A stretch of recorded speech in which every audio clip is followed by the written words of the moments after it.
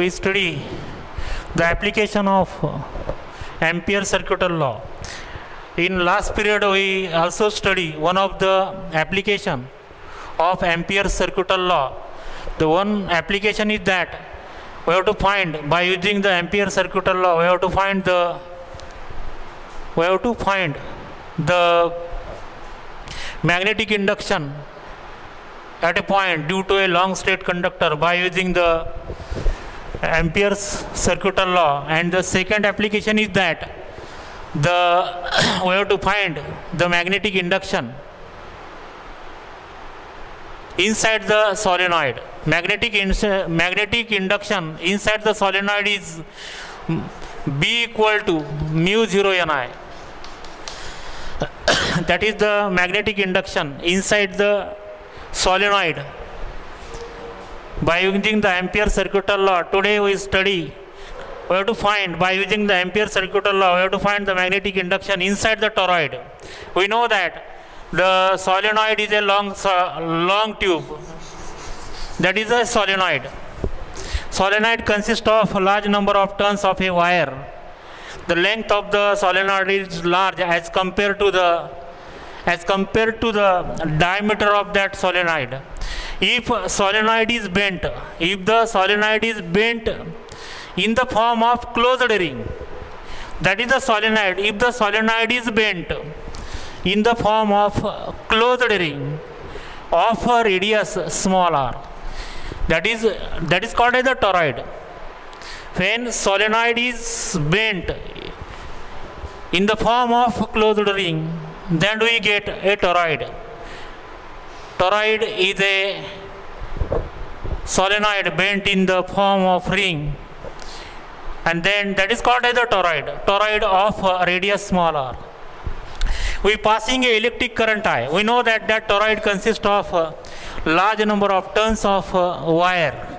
That number of turns turns of wire is wound on that uh, non-magnetic material that is we know that i be the electric current.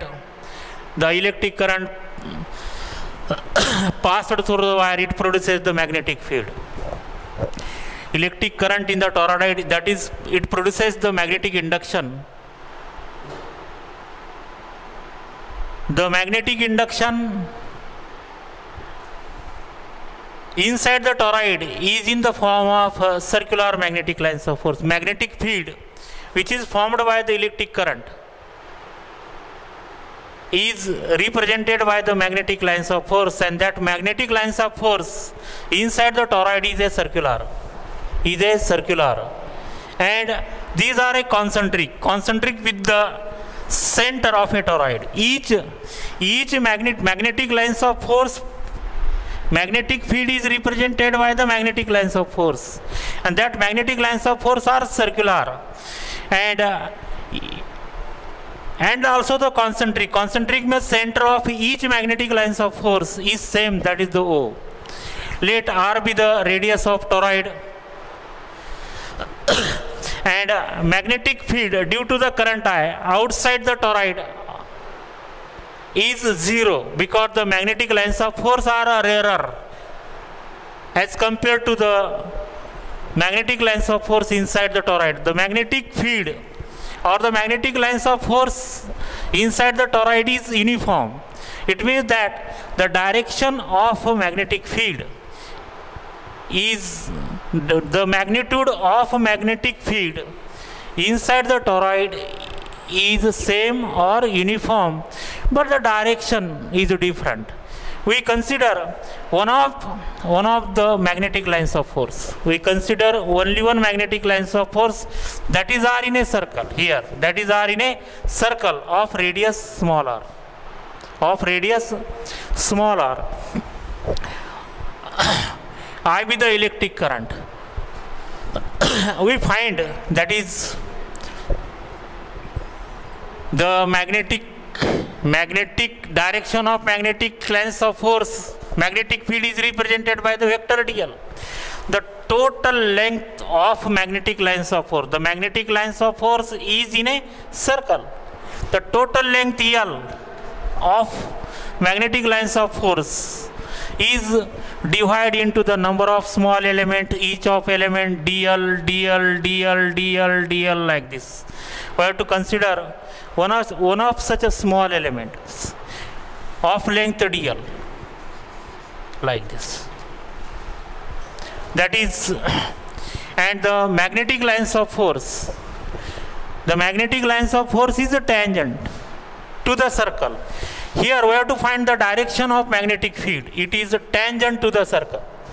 At, point, at this point, magnetic lines of force is tangent to the circle. At this point, the magnetic lines of force is tangent to the circle and that is the dl. We have to consider another small element here.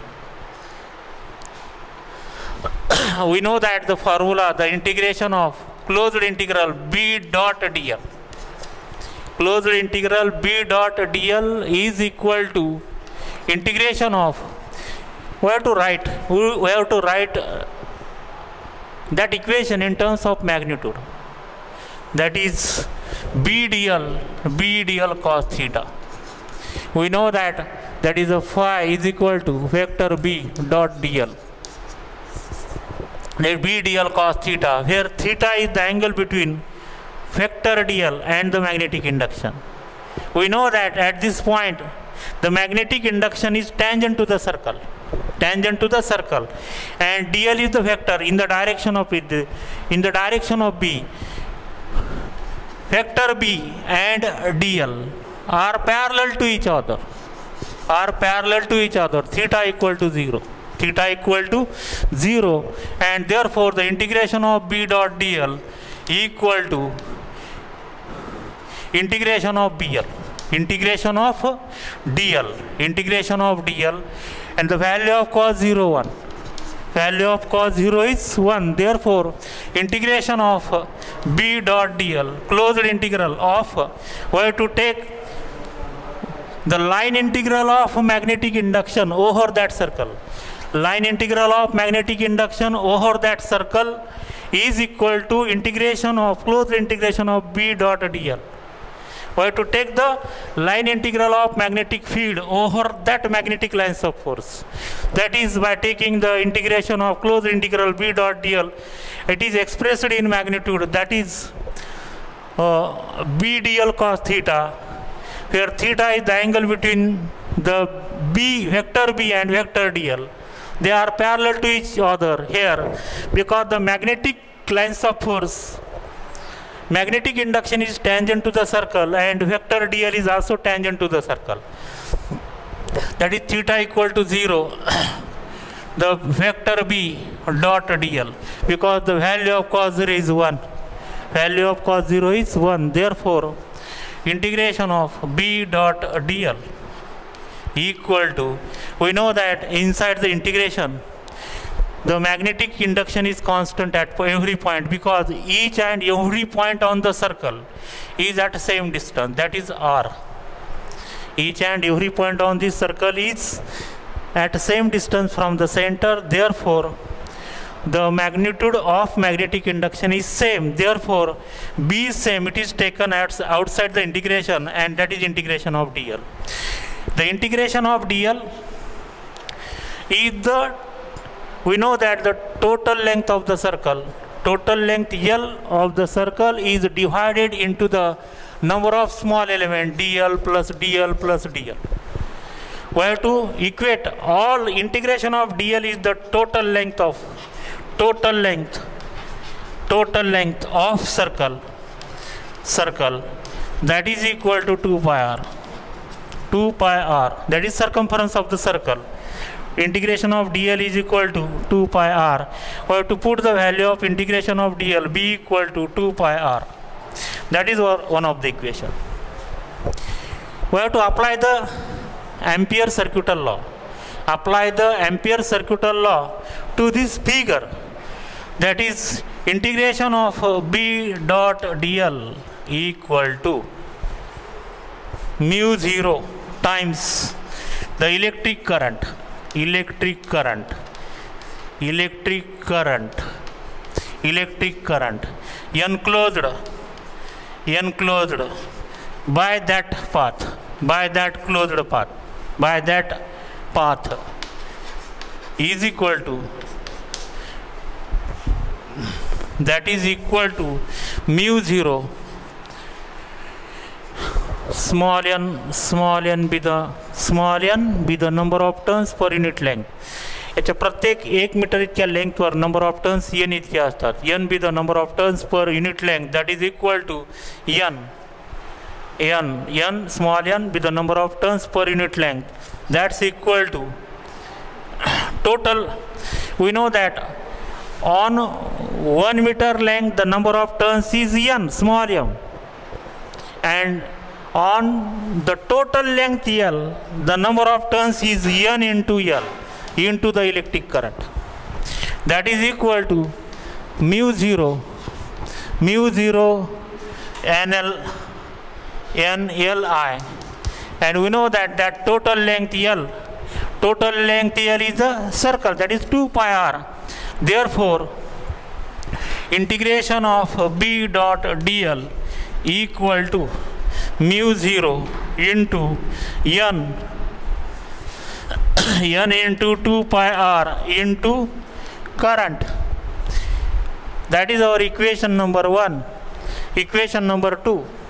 Comparing the equation number 1 and equation number 2, we get we know that, that le their left hand sides are equal left hand sides are equal integration of d b dot dl equal to b 2 pi r that is b into 2 pi r equal to mu 0 n 2 pi r into i. That is 2 pi r 2 pi r get cancelled. Therefore we get b equal to mu 0 n i. That is b is equal to mu 0 ni into i where n be the number of turns per unit length that is the magnetic induction expression for that is the magnetic induction inside the toroid carrying a current i. And we know that the magnetic induction inside the solenoid is also same that is b equal to mu 0 ni.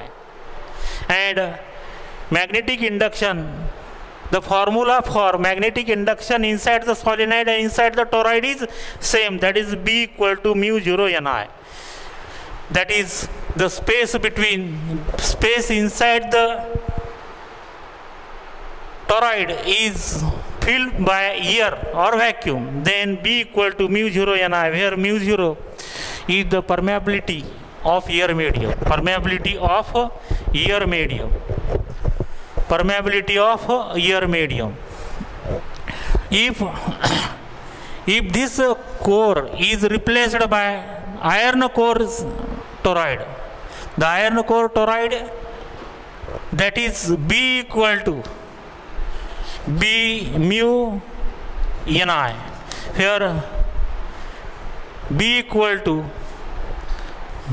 b equal to mu ni that is b is equal to mu is the permeability of any medium mu is the permeability of any medium other than air or vacuum and mu 0 is the permeability of air or vacuum. We know that relative permeability the relative permeability is the ratio of mu by mu 0 mu by mu 0 or mu equal to mu 0 mu 0 mu r. That is that is b equal to mu 0 mu r equal into n into i. Where mu r is the relative permeability. If the toroid or toroid or solenoid is is a iron core that is b equal to mu 0 mu r into ni